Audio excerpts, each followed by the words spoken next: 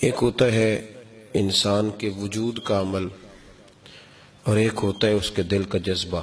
جس دین کو ہم ماننے والے ہیں، وہ دین سب سے پہلے دل سے تسلیم کرنے کا حکم دیتا ہے۔ دل کے اندر اگر قدورتیں رہتی ہیں، نفرتیں رہتی ہیں، عداوتیں رہتی ہیں یا کمی اور کجی رہتی ہے، تو عمل فائدہ کوئی نہیں دیتا۔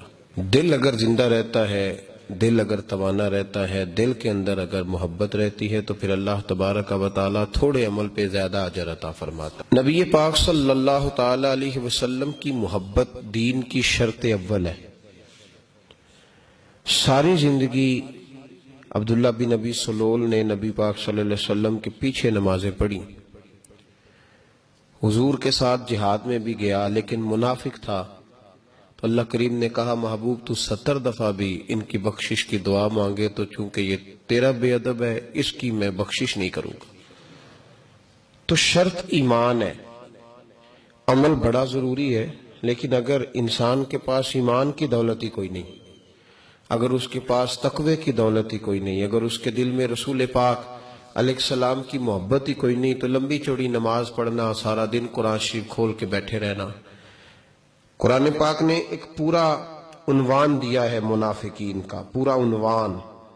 یعنی دو، چار، پانچ باتیں نہیں، پورا عنوان۔ سورہ بقرہ میں جب قرآن مجید کی تلاوت ہم شروع کرتے ہیں، تو تیرہ آیات ایسی ہیں ابتدا میں جو اللہ نے منافقین کی علامات بیان فرمائی۔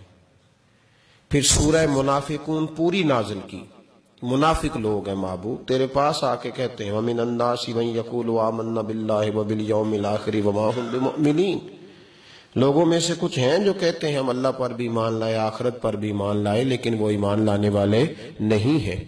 میرے عزیزوں، دل جو ہوتا ہے نا، دل، اس میں ایمان کا مضبوط رکھنا بڑا ضروری ہے۔ یہ شرط ہے۔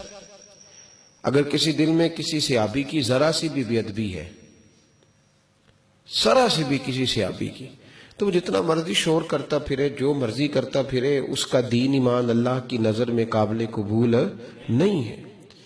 اور اگر نبی پاک علیہ السلام کے خاندان کے بارے میں، اہل بیت نبوت کے بارے میں کسی شخص کے دل میں محبت کا جذبہ ہی نہیں، پیار ہی نہیں، اسے توجہ ہی نہیں کہ حضور کے خاندان سے پیار کرنا ہے، تو بھائی پکی بات ہے۔ گاؤں کی جاہل عورت بھی یہ بات سمجھتی ہے، کہتی ہے، اگر میرے بچوں سے پیار نہیں کرتا تو میرا تعلق کیا ہے اس سے؟ گاؤں کی جاہل عورت بھی یہ سمجھتی ہے کہ جس کا میرے بچوں سے رشتہ کوئی نہیں، اس کا میرے ساتھ کیا تعلق ہوا؟ کس قسم کا وہ دین ہے اور کس قسم کا وہ شخص ہے جو کہتا ہے کہ معاذ اللہ تعالیٰ جی پیار سے کیا ہوتا ہے؟ محبت کو ضروری ہے؟ تو میں نے سورہ شورہ میں قرآن مجید کی آیت پڑھی ہے، نماز، روزہ، حج، زکوٰۃ ضروریات دین میں سے ہیں، لیکن جو این دین ہے، جو اصل دین ہے، اس کو بھی سمجھنا چاہیے۔